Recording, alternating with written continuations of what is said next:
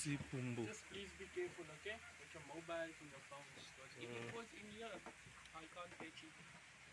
You need to catch it yourself. How good. Because these crocodiles, they see us as food. They see us as prey. They think they need to eat us. And in here we have